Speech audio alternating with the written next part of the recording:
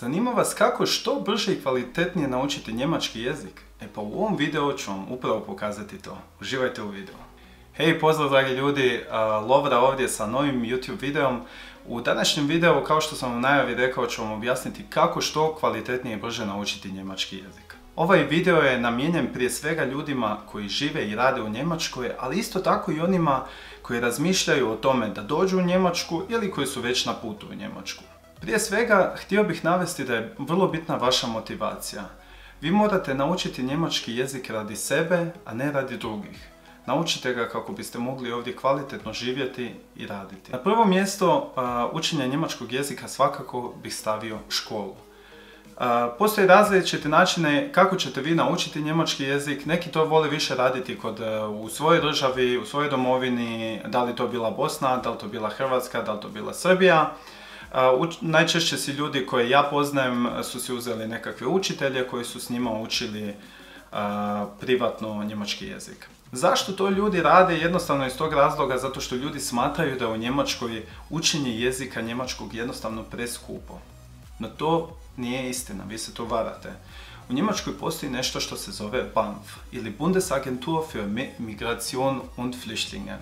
Znači to je jednostavno ministarstvo za migrante i za izbjeglice i u tu skupinu spadate svi vi, u tu skupinu sam spadao i ja, dakle svi ljudi koji dolaze iz Balkana u Njemačku. Na njihovoj službenoj stranici isto tako možete naučiti točno gdje se možete javiti za vaše dijete da bi se školovalo i za vas. Kako bih vam olakšao savjetom, možete otići u svoj grad u kojem živite i javite se jednostavno u Njemački crveni križ. Njemački crveni križ ima mogućnost da se preko njih prijavite i dobijete povoljno školovanje njemačkog jezika. To školovanje traje dugo, nemojte misliti da je to kratko, ono traje najčešće oko 6 mjeseci i e, tu stvarno imate svakodnevni program. Sad se pitate koliko to košta. Po pravilu to košta preko 300 eura mjesečno. No ako vi idete preko Crvenog križa, onda vam Njemačka preuzima polovicu troškova školovanja. Isto tako, kad vi završite cjelokupni tečaj, znači A1 do B1 i uz to morate još položiti jedan e, test poznavanja Njemačke, to je lagan test, onda ćete dobiti još polovicu od tog što ste vi uplatili. Ako vam je i to preskupo i ako vi imate premalu plaću, onda vi možete predati potvrdu o vašoj plaći i onda će vam Njemačka preuzeti kompletan trošak edukacije njemačkog jezika. Zakon za ne? No međutim nije škola sve. Postoje ljudi koji jednostavno nemaju vremena ići u školu, ne žele ići u školu ili radi nekog drugog razloga ne mogu ići u školu. Za te ljude bih prije svega preporučio gledajte njemačku televiziju. Nemojte gledati odmah balkansku televiziju, znači nemojte gledati odmah hrvatsku televiziju, bosansku, srpsku. Zašto? Mnoštvo naših ljudi koji dođu iz svoje zemlje prvo što naprave uzmu IPTV receiver kako bi mogli gledati domaće kanale. No, vi morate shvatiti, ako živite u ovoj državi, vama će biti puno lakše da naučite njemački jezik kad vi njega svakodnevno čujete. Tako da preporučio bih vam da slušate radio u autu. Nemojte slušati muziku sa CD-a, slušajte njemački radio. Slušajte što se događa u Njemačkoj i svakako gledajte, barem na početku njemačku televiziju. Kasnije, naravno, gledajte i našu, ali za početak vam je vrlo važno da vam jednostavno uđe taj zvuk u uho. Zatim bih tu naveo još i slikovnice. Smiješno, zar ne? Ali ne, to stvarno pomaže. Slikovnice kao što je na primjer ova, to su slikovnice koje vi možete čitati sa svojom djecom, ali i vi kao odrasli možete jednostavno gledati te slikovnice. Mi kad smo bili djeca, najlakše nam je bilo naučiti određena slova po slikama. Isto tako, njemački jezik možete naučiti preko slikovnica ili barem nekakve osnove. Priče za djecu. Ukoliko imate djecu, čitajte svoje djeci priče za djecu. Zašto? Zato što će vaša djeca brže naučiti jezik od vas, vaša djeca će vas moći ispraviti i vaša djeca će vama u stvari moći pomoći u što bržem i kvalitetnijem učenju njemačkog jezika.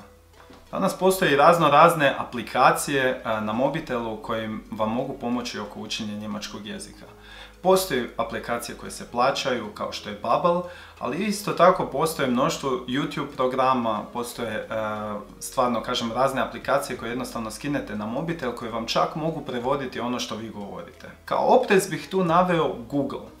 Google je zakon. Ja obožavam Google, pomaže mi oko prevođenja određenih riječi, ali nemojte cijele tekstove citirati u Google, zato što će vam Google prevesti doslovno, a hrvatski i njemački jezik su totalno dvije različitosti, tako da ukoliko morate napisati neki tekst, radije ga napišite, nek vam neko pomogne ko vam je blizu ili koga znate, ili možda neko od njemačkih kolega, ljudi će vam rado pomoći kad vide da želite naučiti njihov jezik.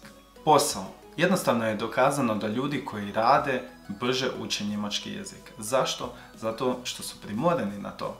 Oni moraju sa ostatkom ljudi pričati. U izuzetak bih tu stavio ljudi koji rade određene aktivnosti, znači određene poslove gdje ne dolazi u veliki kontakt sa ostalim ljudima, ali bez obzira na to, kad vi radite, vi ćete sigurno brže i kvalitetnije naučiti njemački jezik. Radite greške. Ljudi, nemojte se bojati pričati njemački. Bez obzira na to koliko loše pričate ili koliko nemate znanja, pričajte, pričajte, pričajte. Pokušajte pričati sa, sa, sa ljudima s posla. Pokušajte pričati sa roditeljima iz škole. Pokušajte možda doma međusobno pričati. Smite se, nema veze, ali radite greške. Ljudi koji rade greške i uče iz tih grešaka. Tako da svakako nemojte se bojati pričati. Tu bih naravno eh, htio i pričati o djeci, Mnoštvo od vas koji ćete gledati ovaj video imaju najvjerojatnije malu ili veliku djecu. Nemojte se bojati, u Njemačkoj e, već od male dobi imate za djecu određene programe kroz koje oni prolaze. Znači djeca koja dođu iz e, neke druge države, oni već u vrtiću prolaze test jezika gdje se njih uči. Već od male dobi postoje određene škole koje vam jednostavno pomažu u tome da vaše dijete što brže i što kvalitetnije nauči jezik.